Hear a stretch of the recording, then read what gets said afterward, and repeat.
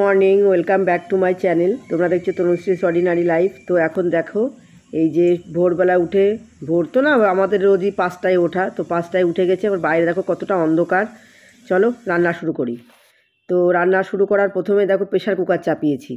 আর কী হয় বলো তো শর্ট টাইমে রান্না আমি আজকে তোমাদের সাথে শেয়ার করব যে আমি এই যে শর্ট টাইমে রান্না করি তো সেটা শর্ট টাইমে রান্না করব এমনভাবে যেটা সহ- সহজেও হবে, তাড়াতাড়ি হবে, খেতেও ভালো হবে। তো সেটার জন্য কি করছি দেখো, এই যে আমি একবারে না, এই যে প্রেশার কুকারে তেল দিলাম, তেলের মধ্যে দেখলে একটু পাঁচ ফোড়ন আর শুকনো লঙ্কা ফোড়ন দিয়েছি, সেই সাথে কসুরি মেথি ফোড়ন আর একটু বড়ি গুঁড়ো করে দিয়ে দিয়েছি। তার মধ্যে এটা না আমি শাক করব, পালং শাক। তো পালং শাক করার জন্য বড়ি তো দেবো পালং শাকে অবশ্যই। তো বড়িটা না আস্ত দেওয়ার থেকে একটু গুঁড়ো করে দিলাম মানে একটু ভেঙে ভেঙে দিলাম আর কি, দিয়ে ভেজে নিয়ে সেটার মধ্যেই আমি একবারে সবজিগুলো দিয়ে দিয়েছি। সবজিগুলো তো আমার কাটাই থাকে আগে থেকে। তো এর মধ্যে কি কি আছে বলো তো এর মধ্যে আছে মূলো, আলু, বেগুন, শিম, গাজর এগুলো সবগুলো আর একটু ক্যাপসিকাম। সবগুলো একসাথে দিয়ে আমি একটু লবণ আর হলুদ দিয়ে একটু ভাজা করে নেব এর মধ্যে। তো একসাথে করলে হবে সহজেও হবে।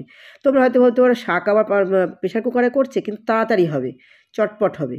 আর এই যে কাঁচা লঙ্কা ছিঁড়ে দিলাম। এবং খেতেও ভালো হয়, আর সবজির বা শাকের যে খাদ্যগুণ সেটাও ভালো বজায় থাকে।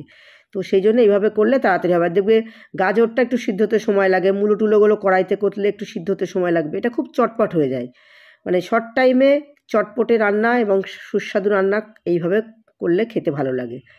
তো এইভাবে দেখো আমি একটু সবজিটা ভাজা হয়ে গেল, তারপরে দিলাম একটু পালং শাক, এর মধ্যে একটু আদা আর একটু জিরে গুঁড়ো একবারে দিয়ে দিলাম। দিয়ে এবার এটা- এটার সাথে একটু ভালো করে ভাজবো। শাক তো এখনই নরম হয়ে যাবে, তো ভাজা হয়ে গেছে।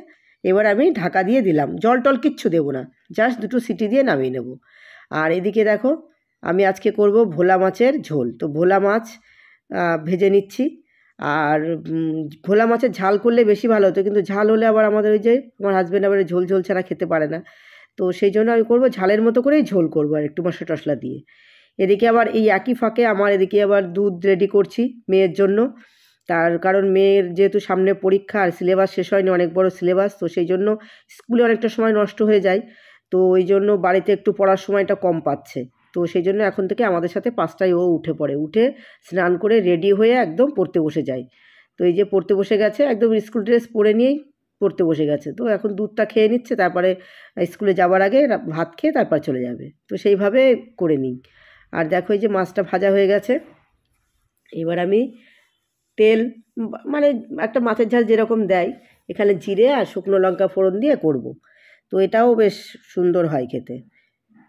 আর একটু ঝাল ঝাল কষা কষাই খুব একদম হবে না, আবার একদম শুকনো শুকনোও হবে না। তো আলু দিয়ে ঝোল করছি শুধু আজকে ভোলা মাছটা।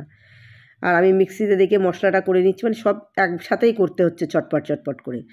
না হলে হয় না একসাথে। ওদিকে ভাতটা তো রাইস কুকারে হচ্ছেই। মানে ভাতটার জন্য এখন সব কিছু চালটা রেডি করে রেখে দিলাম, একদম চাপানো হয়ে গেছে। তো আজকে যেহেতু হাজব্যান্ডের যাওয়া নেই, তাও আমাদের ভোরবেলায় উঠতে হয়। তার কারণ ওই যে আমার থাকে, মেয়ের থাকে শনিবার আজকে। তো সেই জন্য একবারে করেই নিতে হয়। তো চলো, এই যে আলুটা ভেজে নিয়ে এবার মিক্সিতে যে আলু, টমেটো, এই সব কিছু দিয়ে কষিয়ে নিচ্ছে একবারে। মশলা যেটা দিয়েছিলাম সেটা। এদিকে আমার পালং শাকটাও হয়ে গেছে, দেখো। এর মধ্যে একটু ধনে পাতা দিয়ে দিচ্ছি। দিয়ে একটু নাড়াচাড়া করে, আর লাস্টে যারা একটু চিনি পছন্দ করো, তারা একটু চিনি দিতে পারো। কিন্তু আমি আবার একটু মিষ্টি দেওয়া পছন্দ কম করি। মিষ্টি দেওয়া খাওয়াটা উচিত না তরকারিতে। তো সেই জন্য দিলাম না। এই যে মশলা দিয়ে আমি মাছের ঝোলের যে ইয়েটা ভালো করে কষিয়ে নিচ্ছি। এর মধ্যে আদা, পেঁয়াজ, রসুন, টমেটো, কাঁচা লঙ্কা সব কিছু একসাথে দিয়েছি। আর জিরে গুঁড়ো, ধনে গুঁড়ো তো এগুলোই আছেই। তো একসাথে দিয়ে ভালো করে কষিয়ে নিলাম। নিয়ে দেখো, অল্প জল দিয়েছি, খুব বেশি জল দিইনি। সে তারই মাঝে আবার হাজব্যান্ড একটু টমেটো কেটে দিল। আমি এবার বললাম যে চাটনি করি। তো চাটনি করার জন্য চাটনিটাও চাপিয়ে দিয়েছি। এদিকে মাছের ঝোলটাও প্রায় হয়ে এসেছে। আর একটু ফুটাবো, ফুটিয়ে নামিয়ে নেব। তো এদিকে ডিম সিদ্ধ হয়েছে মানে একসাথে বললাম না, চটপটে, চটপট এত কিছু করতে গেলে এইটুক শর্ট টাইমের মধ্যে ঘড়িটাও দেখাচ্ছি তারাও কটা বাজে। সাড়ে পাঁচটায় আমি উঠেছি বটে, কিন্তু আজকে একটু মানে ধীরে সুস্থে শুরুটা করে সাড়ে পাঁচটায় প্রায় শুরু করেছিলাম, পাঁচটায় উঠে। তো এদিকে চাটনি হয়ে গেছে, মেয়ের জন্য আবার এগ রাইসও হয়ে গেছে। আবার এদিকে এমনি নর্মাল ভাত, সেটাও রেডি করা হয়ে গেছে। আবার শাকটাও নেমে গেছে মানে সব একসাথে মোটামুটি নেমে গেছে। ঘড়ি দেখাচ্ছি, চলো। এই দেখো। খুব চটপট হয়ে গেল সব রান্নাগুলো। মোটামুটি এক ঘণ্টার মধ্যে এত কিছু করেছি। তারপর ডিমটাও ছাড়িয়ে নেব, তো তার আগে দেখো ঘড়ি দেখাতে এসে ভাবলাম, দেখো মা এবার হাঁটতে যাচ্ছে। এখন বাজে সাড়ে ছটা। মা একটু এখন ধীরে সুস্থে চলাফেরা করে, দেখো। আস্তে আস্তে যাই। আর ঘুম থেকে উঠে একটু ফ্রেশ হয়ে বেরোতে বেরোতেই একটু দেরি হয়ে যায়। সাড়ে ছটা বাজে, এবার বেরোচ্ছে মা হাঁটতে। আর আগের মার কাজ কিছুটা করে দিয়ে রাখে আমাকে, তবেই আমি কাজটা করতে পারি যেমন সবজিগুলো কেটে দিয়ে রাখে আগের থেকে। তো এই যে, দেখো, ছটা পঁয়ত্রিশ। সাড়ে ছটার মধ্যে মোটামুটি আমার রান্না কমপ্লিট হয়ে গেছে।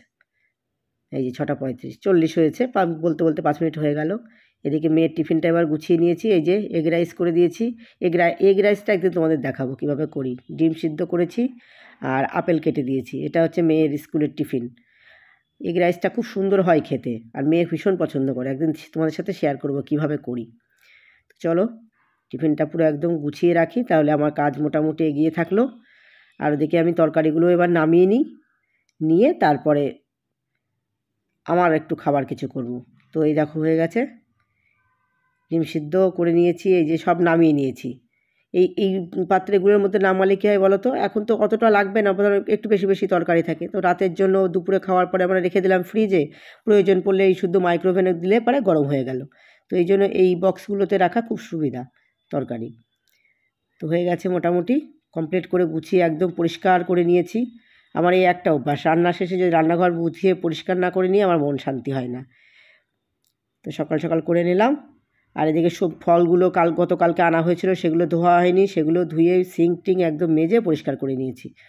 আমার আবার অভ্যাস আছে যে ফল বলো, যাই বলো, না ধুয়ে রাখলে শান্তি হয় না। তো টেবিলের ওপরে বাইরের থেকে এনে এমনি রাখতে কেমন লাগে? ধুয়ে টুয়ে তারপর পরিষ্কার করে রাখি। চলো, পরিষ্কার করে এবার চলে এসেছি বিছানাটা গোছানোর জন্য। মানে গোছানো সকালে একবার হয়, তারপর আবার ওই যে মেয়ে পড়ল। তো মেয়ে পড়ার পরে আবার মেয়েকে দিয়ে এলাম স্কুলে। দিয়ে এসে এবার ভাবলাম যে বিছানাটা আর একবার একটু ঝেড়ে ঝুড়ে নিই, কারণ মাসি আসবে। মাসি এসে ঘর ঝাড় দিয়ে মোছে পরিষ্কার করে। তো ওই মেয়ে পড়ার সময় কী হয় একটু পেন্সিলের যে পেন্সিল কাটার কিছু হয়তো পড়ল বা রাবার ঘষে রাবারের কিছু একটা পড়ল, তো বিছানা টিছানা একটু নোংরা হয়েই থাকে। আর এই দেখো জানালা খুলে দিচ্ছি তো এদিক দিয়ে ধুলো, বিছানা ঝাড়লে না একটা ধুলো ওঠেই, ধুলো উঠছে। তো মোটামুটি করে নিয়ে এবার সোফার ওপরে ওই যে কালকে কিছু জামা কাপড় রয়েছে তারপরে আমাদের বেডশিট ফেট সব কিছু নিয়ে সোফার উপরে রেখে তারপরে বিছানাটা গুছিয়েছিলাম। তো সোফাটাও ভালো করে ঝেড়ে ঝেড়ে পরিষ্কার করে নিই। একবারে করব যখন, তখন একবারে পরিষ্কার করে নেব। এই যে এক একটা করে গায়ে দিয়ে দিয়ে সোফার উপর রেখেছিল। আর এখন শীতকাল। দেখো, শীতকাল মানে দেখবে সোয়েটার ফোয়েটারে না ঘর ভর্তি হয়ে থাকে। মানে লাগে বেশি। একটা একটা করে বার করতে করতে না বেশি হয়ে যায়। গরমকালে আবার ফাঁকা ফাঁকা থাকে। শীতকালে আবার তাও তো এখনও কম্বল বেরোয়নি। কম্বল থাকবে মানে শীতকালে একটু ঘরের মধ্যে জিনিসপত্র বেশি হয়ে যায়, আমার মনে হয় যেন। কি করা যাবে? লাগবে ওগুলো। তো চলো, এগুলো মেয়ের ওয়ার্ড্রপটা গুছিয়ে দিই। না হলে আবার আজকে যেমন করছি, একদিকে সব দিক করে নেবে। যে ওয়ার্ড্রপ এরকম পাটে পাটে একদিকে যেমন ড্রেস অনুযায়ী। একটা বাড়ি পড়ার একটা স্কুলে পড়ার একটা প্যান্ট, জামা সব আলাদা আলাদা করে না রাখলে আমার মেয়ে খুঁজে পায় না। ছোটো ছোটো যে ইনারগুলো সব পাটে পাটে আলাদা আলাদা করে গুছিয়ে রাখতে হবে। না হলে খুঁজে পাই না। আমিও ধর হঠাৎ করে, মা, এটা পাচ্ছি না। চট করে আমি না হলে খুঁজে পাই না। ওই অগোছালো জায়গার থেকে না শর্ট টাইমে আমার জিনিস খুঁজে বার করতে হয়, আমি পাই না। আর ওই কী হয় প্রত্যেক দিন ছাদে মেলা হয় তো, যেগুলো রেগুলারের ইউজের তো ওইগুলো তুলে মা ভাঁজ করে এক জায়গায় রাখে, এবার আমাদেরটা এক একজনের টাকা এক জায়গায় সেট করতে হয়। তো সেটাই করে নেওয়া হলো। চলো এবার সোফাটা ঝেড়ে নিই।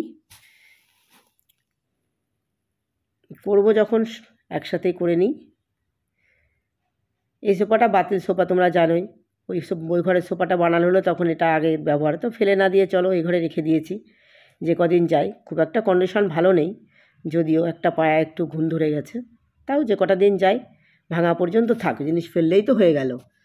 চলো, মেয়ের ঘর গোছানো কমপ্লিট হয়ে গেছে, দেখো। আর ওই যে ওই ঘরের সাইডের টেবিলটা ডেস্কটা সরিয়ে টেবিলটা রাখতে হয়েছে ল্যাপটপটার জন্য। তো এখন একটু ক্লাস করার সময় লাগে বা একটু পড়তে টড়তেও লাগে। তো ল্যাপটপে না এই ঘরের কানেকশনটা ভালো পায় না, যদি কিনা ওয়্যার দিয়ে লাগিয়ে করে। তো ল্যাপটপটা একটু পুরনো হয়ে গেছে। চলো টেবিলটাকে ডেস্কটা সরিয়ে টেবিলটাকে সেট করে দিয়েছি ওখানে। ওর একটু সুবিধা হয়। এবার খাবার টেবিলের যেটা করি, আমি এই যে খাবার টেবিলের যে ইয়েটা টেবিল ক্লথটা পাতি, সেটা অল্টারনেট করে পাতি। তো আগের দিনেরটা আমি কেচে রেখেছিলাম, তুলেছিলাম, কিন্তু এইটা পাতা হয়নি পরের দিনেরটা। তো চলো আজকে এখন পেতে নেব।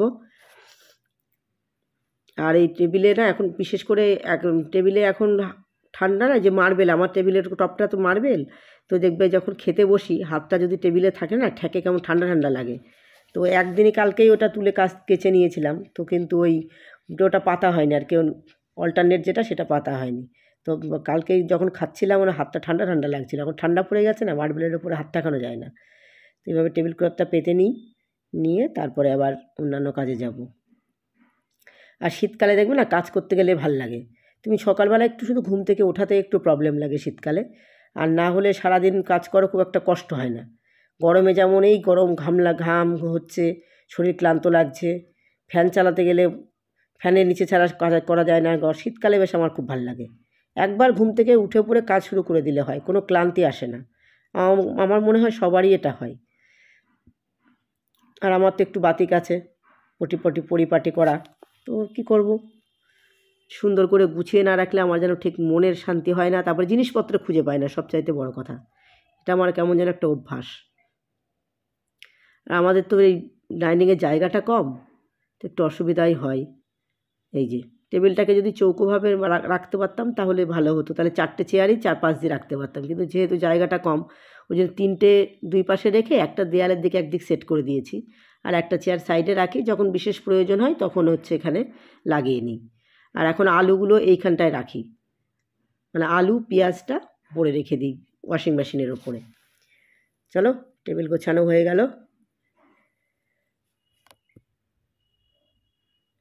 এই গাছগুলোকে একটু রোদে দিতে হবে, এক সপ্তাহ হয়ে গেলে, প্রায় রোদে দেওয়া হয়নি। তো আজকে আর দেবো কিনা ভাবছি।